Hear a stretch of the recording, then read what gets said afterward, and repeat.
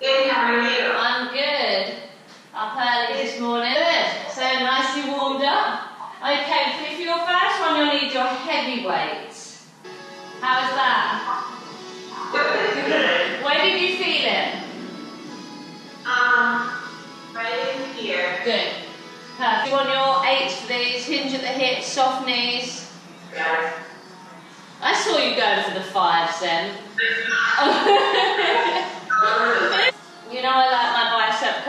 So you can use your tens now. Yay!